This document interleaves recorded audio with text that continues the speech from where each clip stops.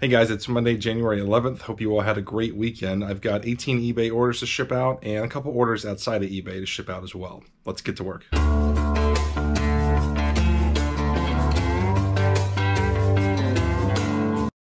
All right, first things I'm shipping are um, some things that some viewers reached out to me about uh, that I sold outside of eBay. First is this Cadillac garment bag. Uh, I sold that for 30 free shipping. Next is a Dave Matthews Band Crash cassette tape.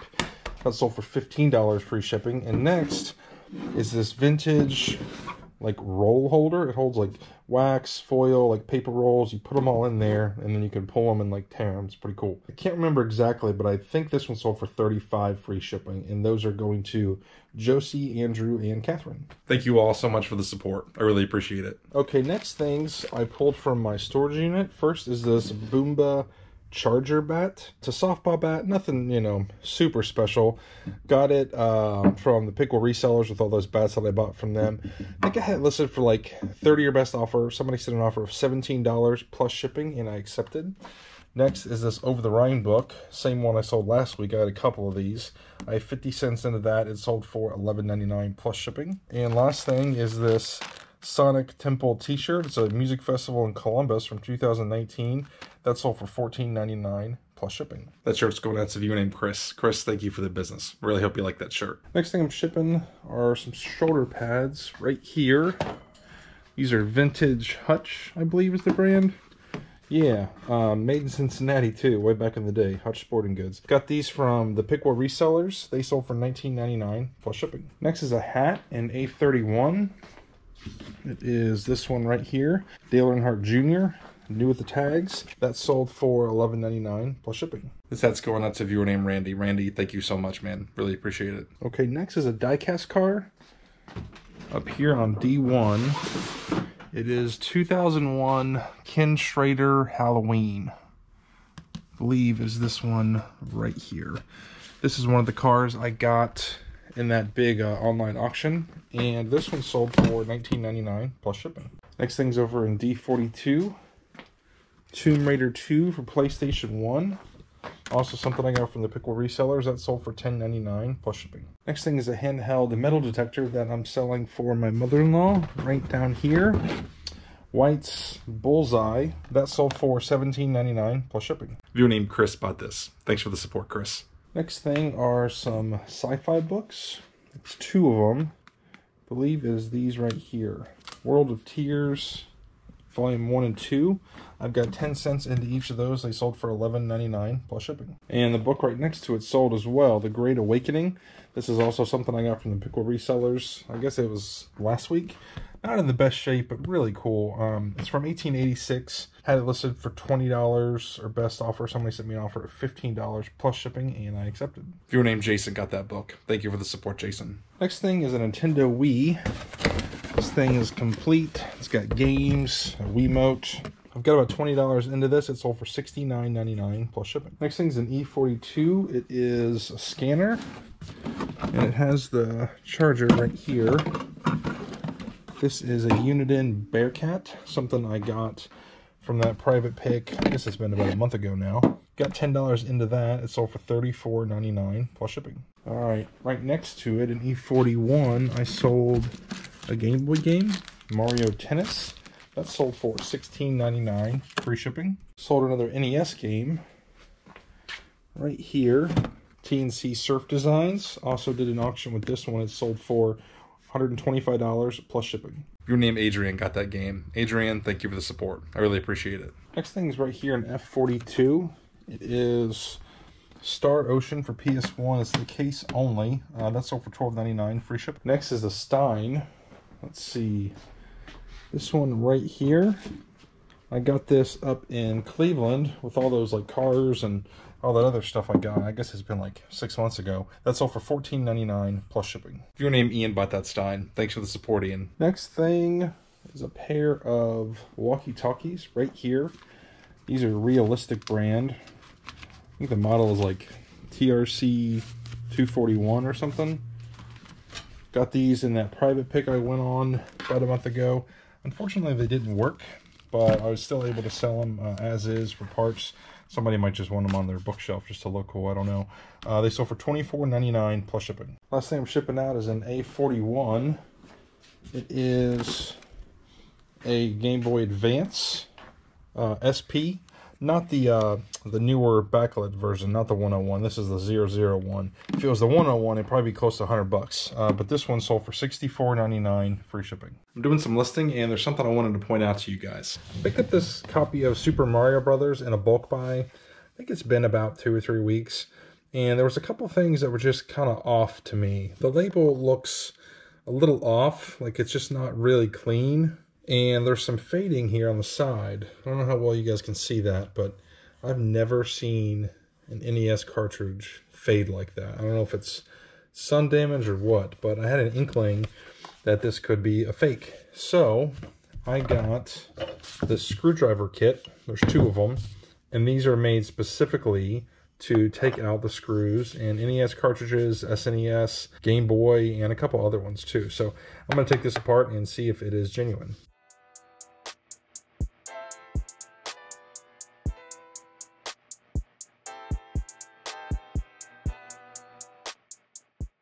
All right, so here's the board, and we flip it over, and right there says Nintendo. So it is a genuine game.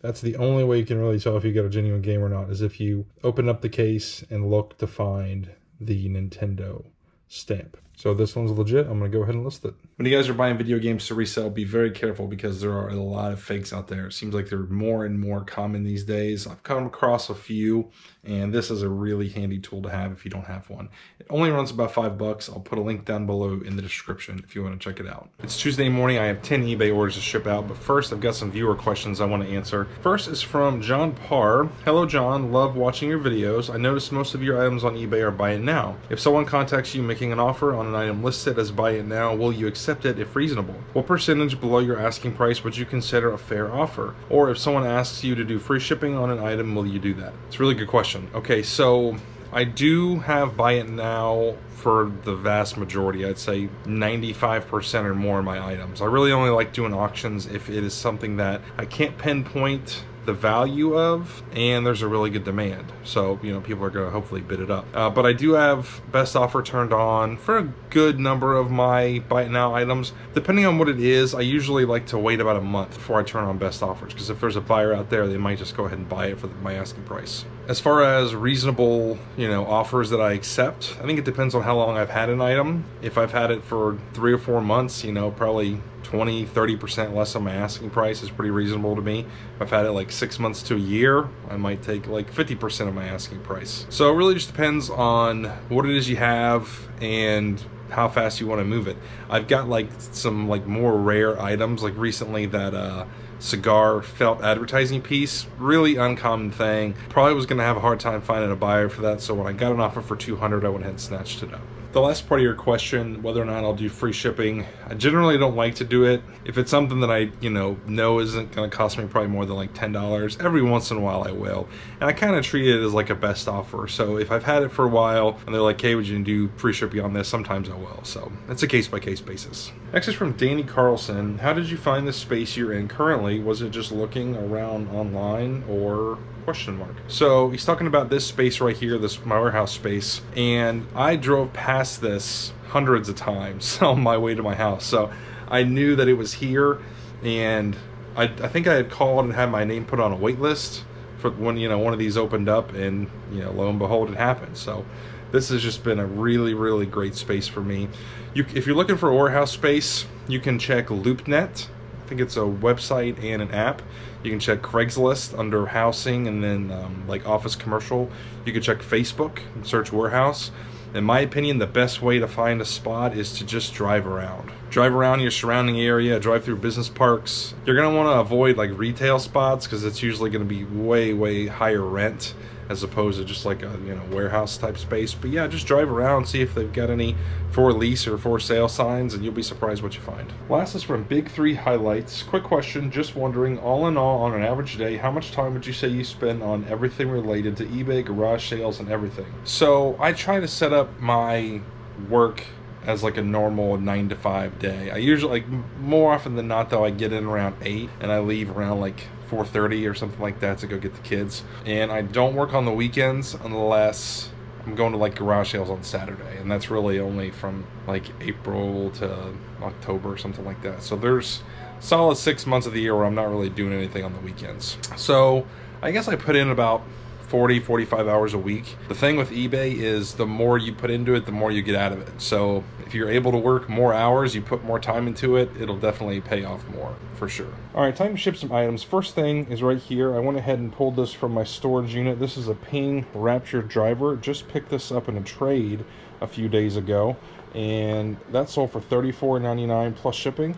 As you can see, I went ahead and pulled a box. I had this box in my storage unit for whenever I sold another driver. It's ready to go. Okay, next thing I'm shipping is a charger. Let's see, C51.